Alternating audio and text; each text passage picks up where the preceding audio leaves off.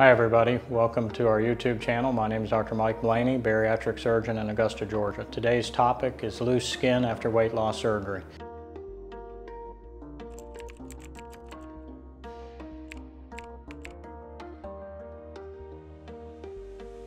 Any significant weight loss will most of the time result in the patient having some degree of loose skin.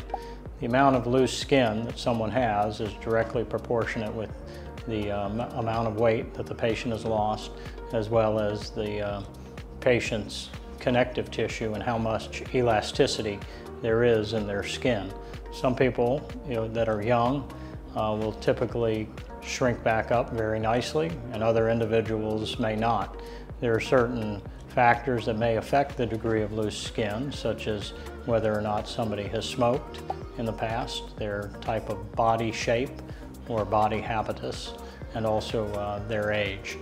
Typically, the areas of concern for most patients is on the arms, around the abdomen, and on the legs.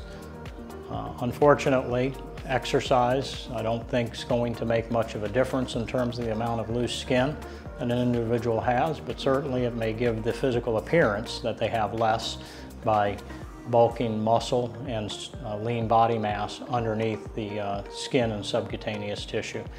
Ultimately, the treatment for loose skin that's causing a um, hygiene or a cosmetic deformity is plastic surgery.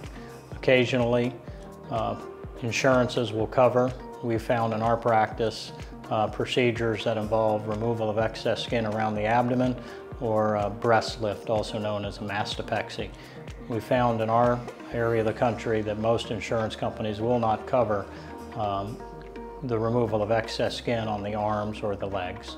Hope this answered your questions. Be sure to like and subscribe to our YouTube channel and look forward to seeing you in the future.